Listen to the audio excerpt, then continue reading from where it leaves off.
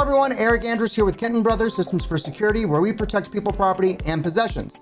In today's video, we're discussing elevators, in particular, how to secure them with cameras and access control. Elevators can be tricky to do. They require a lot of planning and also coordination with the elevator company. We'll get into some of those details today and what you need to know.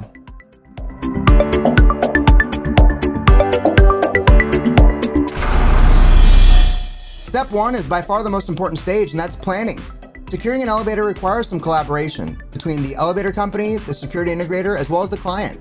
The client lets the security integrator know how they want the elevator to function and behave. The security integrator works in collaboration with the elevator company to make that possible. So Eric, while this planning, we assume that Kenton Brothers does a lot of planning for all of their projects, which is true. What makes elevators so particular?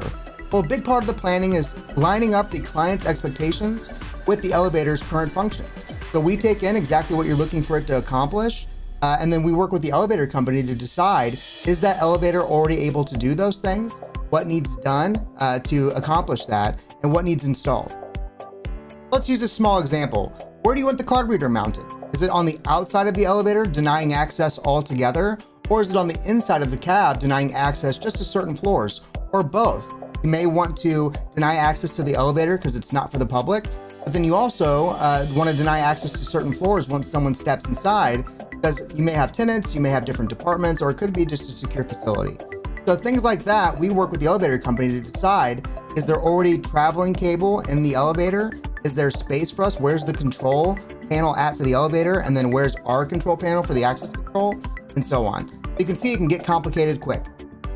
Step two is integration. We work with a professional elevator technician to not only make sure the proper cables are in place, but also integrate the card reader into the elevator's controls.